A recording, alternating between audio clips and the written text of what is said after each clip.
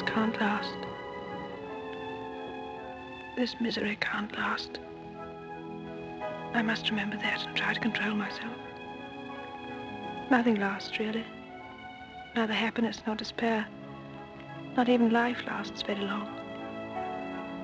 There'll come a time in the future when I shan't mind about this anymore. When I can look back and say quite peacefully and cheerfully how silly I was. No, no, I don't want that time to come ever. I want to remember every minute. Always. Always to the end of my days.